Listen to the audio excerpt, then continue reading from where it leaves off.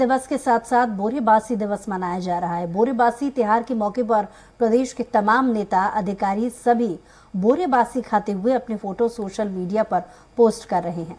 कांग्रेस नेता, पूर्व राज्यसभा सांसद छाया वर्मा श्रमिक दिवस को लेकर, बोरेबासी की महत्ता को लेकर उन्होंने एक खास बात कही। चलिए आपको सुनाते हैं।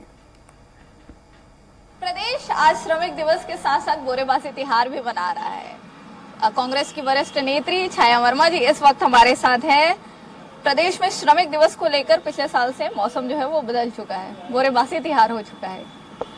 देखिए, आज सबसे पहले तो मैं सभी श्रमिकों को आज श्रमिक दिवस की हार्दिक बधाई और शुभकामना देती हूँ और ईश्वर से कामना करती हूँ कि छत्तीसगढ़ में उनका भविष्य उज्जवल हो।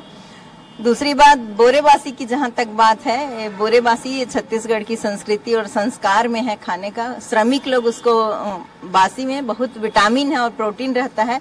गर्मी में जब खेतों में काम करने जाते हैं तो बासी खा के जाने से उनको एनर्जी मिलती है, प्यास नहीं लगती और अलग तरह से विटामिन, प्रोटीन से भरपूर रहता है और बहुत तेज धूप में उन लोग अच्छे से काम करते हैं।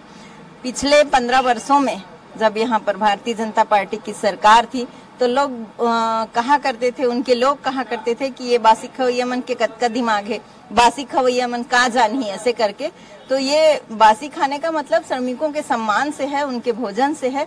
तो हमारे मुख्यमंत्री आदरणीय भूपेश बघेल जी जब मुख्यमंत्री बने तो इस दिवस को, श्रमिक दिवस को बोरेबासी दिवस के रूप में मनाए और उन्होंने एक तरह से श्रमिकों का सम्मान किया, श्रमिकों के खान पान का सम्मान किया और हम सब उनकी आदर करते हैं। तो बिल्कुल प्रदेश में बोरेबाज सिखाकर श्रमिकों का सम्मान जो है किया जा रहा है। कैमरा पर्सन गोपेन के साथ स्वाति कौशिक, स्वराज एक्सप्रेस के लिए रायपुर से।